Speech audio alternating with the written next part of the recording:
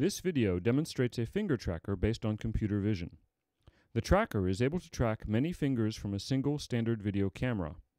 The output of the tracker is a stream of events from the set appear, motion, and disappear. These allow the creation of a multi-hand, multi-user interaction on a large surface. The tracker runs at 25 Hz. It is st- statically stable and has a resolution of about 4 millimeters on a typical camera setup. Latency has been measured using a motorized object with constant rotational speed. We measure the angle between the object axis and the tracker's feedback. With this device, we have observed an average latency of 80 milliseconds. We compare user performance for target acquisition tasks in three different conditions pointer, finger, and mouse.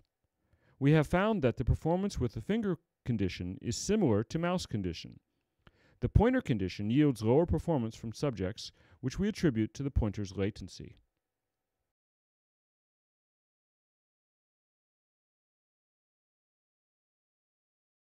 In order to get a feel for a two-handed interaction with many users, we created a simple photograph layout program. Users can move photos by pausing one finger on top of the photo. They can also rotate and scale the photos with two fingers. Problems appear when the finger must be detached from the photo. The finger must be hidden from the camera, but doing so often results in an unwanted transformation of the photo.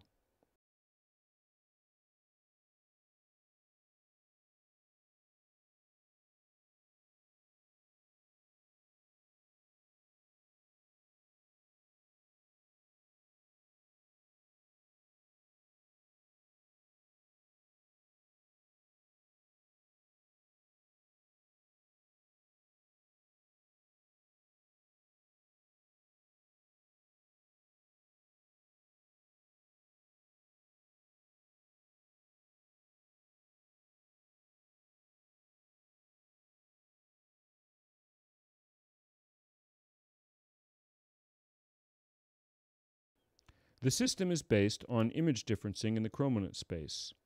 Therefore, it is fairly robust to clutter on the surface.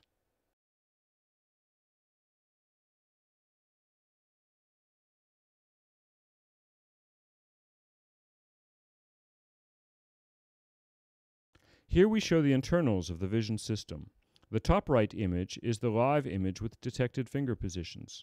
The top left is the background model, which includes the shadow of the arm because of the metric we use.